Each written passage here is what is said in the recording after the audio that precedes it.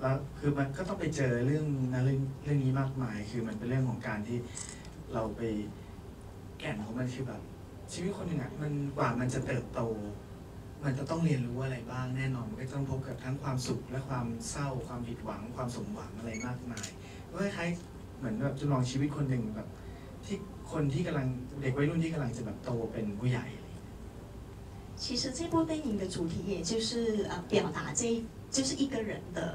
呃人生的一个人的生活，就是当然是那那一年就是青春的那时那是那个时光，就是比较可以就是犯错的，大部分都是那个高中的时间。然后他要想要表达的就是啊、大家呢都是有错过，然后有犯错，然后怎么解决，怎么往前走，或者是还要绕在那边错的地方这样。那这部片，呃，跳过了同志元素，然后变成一个 Go Go Boy 的呃那个部分也。是很多啊。对，但是就是想请导演谈一下。 ที่อื่นๆมันแล้วแบบคือเด็กวัยรุ่นกับกับชีวิตอีกด้านหนึ่งมัน มันคล้ายๆ มันมันก็แบบก้าวเข้าไปอยู่ในนั้นประมาณหนึ่งอะไรเงี้ยถ้าถ้าในแบบชีวิตจริงของพวกเราอ่ะเออก็เราก็จะเห็นวัยรุ่นแบบเที่ยวเข้าคลับเข้าบาร์หรืออะไรกันตั้งแต่ตอนอยู่มปลาย ซึ่งมัน มันจะพูดว่าเป็นเรื่องปกติอาจจะดูไม่ดีนะแต่ว่าแต่แบบถ้าทุกคนก็จะดูแล้วก็ไม่ได้รู้สึกอะไรมากมาย แต่ผู้ใหญ่อาจจะดูแล้วก็แบบมัน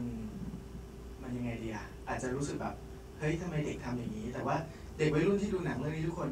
เขาสึกมันเป็นชีวิตของเขาอะเออมันเราเรียน就是说呃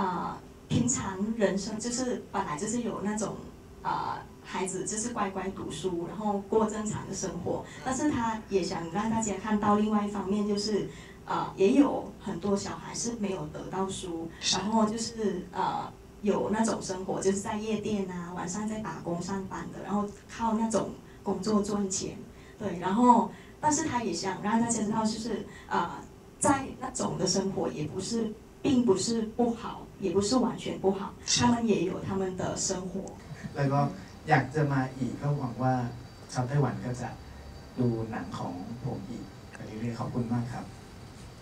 他说，其实这一次来他非常的开心，因为他不止来宣传他的电影，因为他天天晚上没有什么事情特别事情去做，他就去逛附近的夜市，然后他觉得台湾的小吃很好吃哦，然后就希望是大家会给他